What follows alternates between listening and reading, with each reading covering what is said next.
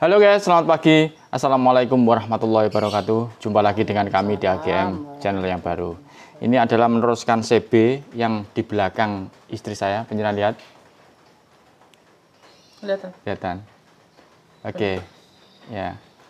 Oke, Mas Bro. Ya, ini tahapan setelah kita bersihkan dan tahapan kita pengoreksian.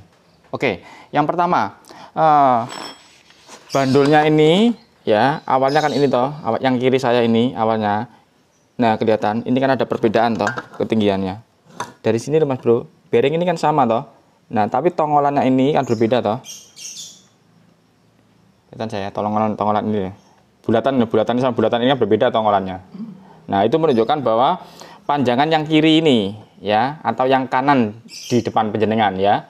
Nah panjangan yang ini. Nah itu diganti yang ini. Walaupun ini sudah lebih pendek ya tapi kondisi ini mas bro perhatikan dan dari pabriknya sudah dikikis rapi ya ini tetap nyangkut sama gigi yang di sini.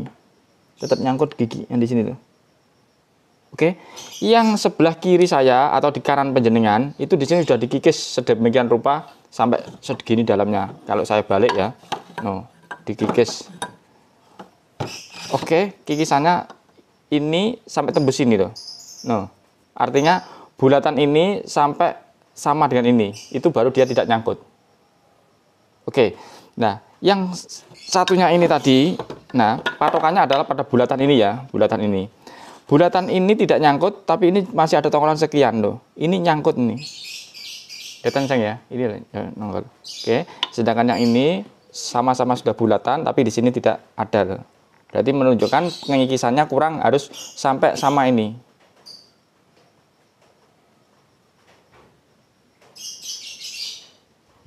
Ya. Oke. Saya mundurkan ya. Berarti ini tinggal melakukan pengikisan, oke. Ya. Kemudian yang ini Mas Bro, jangan perhatikan ada lubang ini.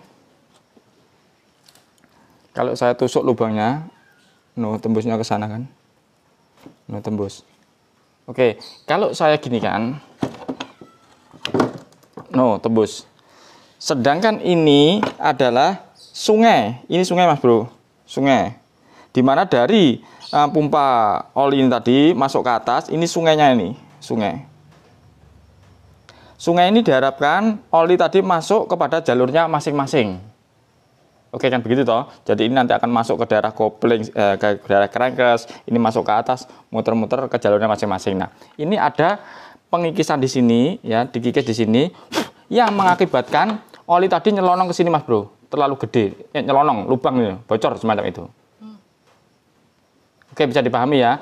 Sehingga mau tidak mau ini harus kita kondisikan agar aliran sungai tadi tidak ada kebocorannya. Kalau ada kebocorannya yang sudah dihitung oleh pabrik ya, jadi oli tadi mengalir sampai di atas katakanlah. Kalau ada kebocoran maka ke atasnya akan kurang atau bisa-bisa tidak nyampe.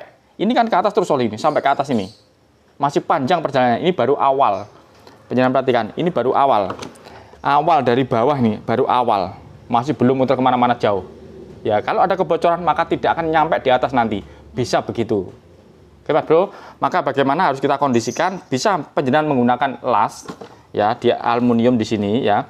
Atau paling mudah adalah menggunakan lem besi mas bro. Jadi caranya begini kalau kita mau menggunakan lem besi pertama ini harus bersih dulu dari cairan yang membuat lem tadi tidak lengket ya.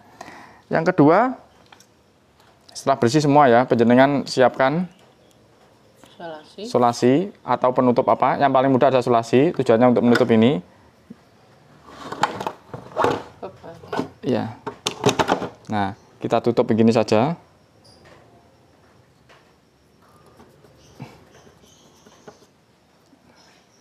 Sudah. Kemudian ini kita balik.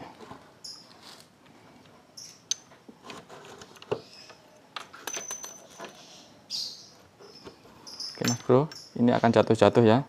Biar saya ambil dulu, biar tidak kehilangan kayak yang motor kemarin ya. Hmm. Oke, saya amankan. Saya amankan. Saya amankan. Tidak mungkin keliru. Masuk sini aman, sudah. Masuk ke tempatnya. Oke. Mana itu?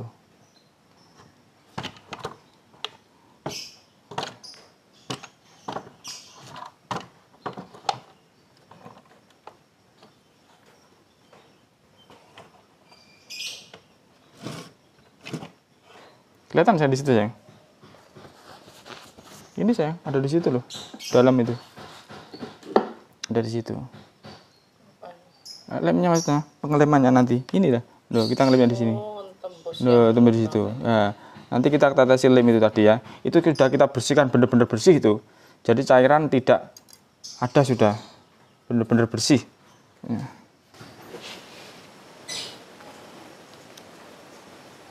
Aduh, dikoloi barang.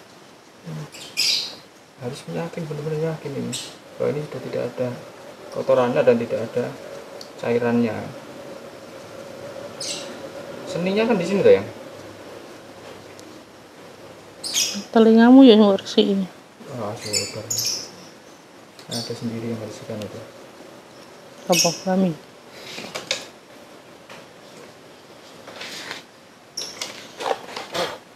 Oke mas bro.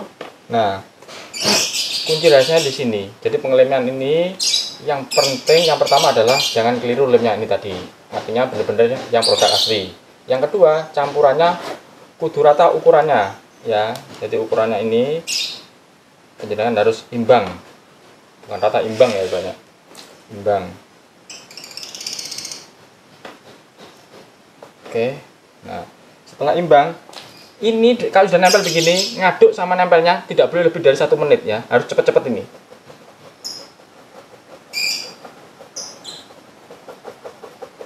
Ngaduk ini sama nempelnya tidak boleh lebih dari satu menit ya. Semakin cepat semakin baik. Apa itu sing dinamakan 5 menit itu singkat. oh bukan. Ini kalau dia uh, lebih dari satu menit atau kelamaan ngaduknya dia keburu rusak duluan Hmm, akhirnya situ. percuma dia menjadi lem sudah kita campurkan dia sudah bereaksi. Jadi ya apa ya tidak berarti nanti. Kalau salah nanti mengulang mas bro tidak apa-apa. Artinya ditempel-tempel gitu loh. Ini harus cepat-cepatan ini. Harus sebanyak itu ya. ya sesuai sesuai yang anu tuh yang ini banyak tidak apa-apa ini yang penting tidak menutup alirannya. Nah.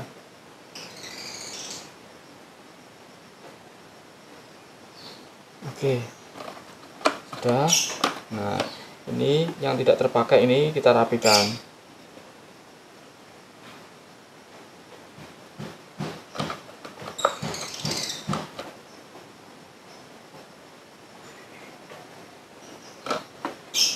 Yang di dalam itu biarkan mas bro ya. Yang sudah di dalam itu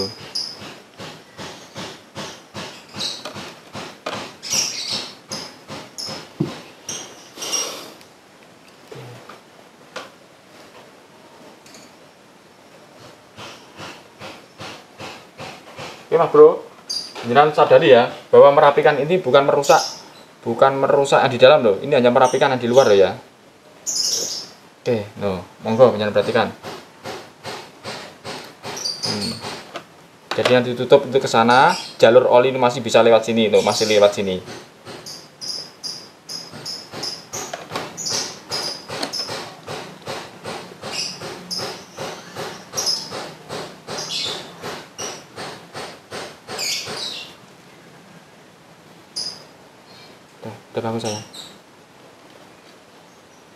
Ini mas bro, maksud saya lem ini kalau sudah kita tuangkan dua-duanya berarti harus segera kita aduk. Ya kalau kita tinggal ngopi dulu nanti sudah kering dulu. Oke kalau sudah kita aduk mulai dari ngaduk sampai nempel ngaduk sampai nempel loh itu harus secepat mungkin. Namanya secepat mungkin berarti secepat mungkin. Ya tidak boleh lebih dari satu menit. Karena kalau sudah lebih dari satu menit ini kan bereaksi di dalam ini. Bereaksi. Nah reaksinya itu kalau kita goyang goyang goyang akhirnya reaksinya rusak Nah kalau rusak itu dia, dia semacam mudah atau tidak. Kalau bagaimana ya? Reaksi kimianya jadi berubah begitu loh Mas Bro. Nah, itu nanti merubah kekuatannya, kan begitu intinya. Jadi harus secepat mungkin. Nah, setelah itu setelah begini kita biarkan sampai setidaknya adalah satu malam ya, satu kali 24 jam. Padahal di sini keterang di sini keterangannya ke 5 menit toh. Ye, biarkan dulu. Semakin lama semakin baik ya. Eh, artinya satu hari gitu sudah cukupan lah semalam gitu ya satu jadi kan 24 jam gitu ya 4 jam gitu. ya itu sudah cukupan Oke. kalau pengen kuat seharusnya tiga hari ya tekaran apa pun nanti akan kuat ya Oke, jadi begitu teorinya. Oke. Oke, Mas Bro. Nah, ini ini adalah motor yang itu. Ini perhatikan. Nah, motor Shogun itu. Shogun. Oke, keluarnya yaitu suaranya kasar dan ngasap ya.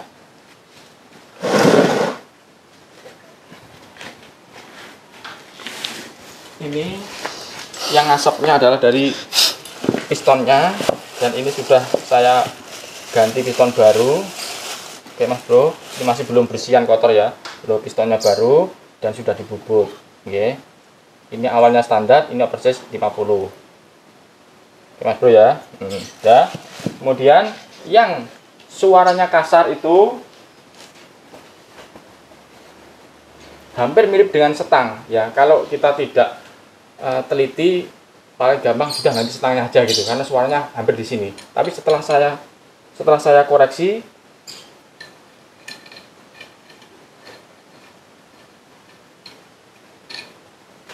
setelah saya koreksi ini tidak ada suaranya mas bro. Ya saya cari tidak ada ya. Dari kondisi ini ya yang kita cari yang mengarah ke suara ke arah suara adalah di sini ada mangkok mas bro. Mangkok ganda itu ya itu longgar dia. Jadi oplak oplak oplak oplak longgar. Itu yang pertama. Yang kedua laker bandulnya ini juga longgar. Jadi kalau ini dikocak itu dikocak begini bunyi. Eh longgar. Longgar nanti menimbulkan bunyi. Jadi longgar dulu ya. Longgar menimbulkan bunyi. Ya jadi ada suara tok tok tok toknya gitu. Oke deteksinya di situ. Oke nah, makanya tidak saya ganti setangnya. Walaupun yang punya suruh ganti setangnya. Ya karena prediksi saya bukan ada di setangnya. Oke mas bro ya ini alatnya masih dicarikan Dika. Ini prosesnya masih panjang mas bro ya. Belum ada pengikisan juga. Oke nanti kita lanjutkan atau penjelasan sudah saya kasih wawasan tentang kondisinya dan bagaimana cara menangannya. Gimana bro?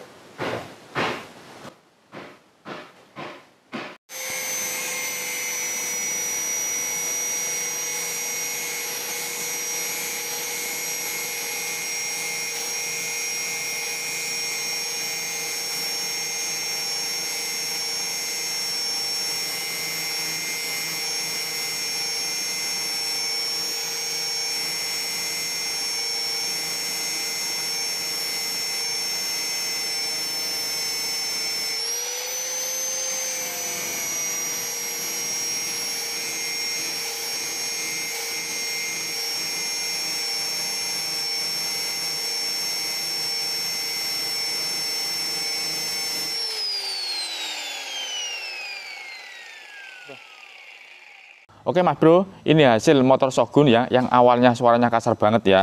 Uh, saya prediksi bukan dari stangnya, karena saya koreksi memang bukan dari stangnya ya. Dan ternyata memang dari sebelahnya setang, yaitu ini Mas Bro ya. Jadi uh, kondisi kampas gandanya ini dan mangkoknya itu, mangkoknya itu goyang-goyang begini. Kampas gandanya juga longgar. Jadi ini terjadi kelonggaran ini. Oke. Jadi timbul suara tok tok tok tok begini lah. Nah, gini lah. Semacam semacam setang. Ya kalau kita tidak mm, memahami benar, ya tidak meyakini dan memahami benar, maka itu dirasa seperti setangnya. Seperti di awal sama konsumen memang dikira setangnya. Oke, oke. Nah ini akan saya tunjukkan hasil akhirnya, termasuk kelistrikannya sudah kita perbaiki. Cuman sayang ini dinamonya tidak menggunakan orisinil, jadi kurang begitu kuat, namun bisa ya. Hmm, monggo.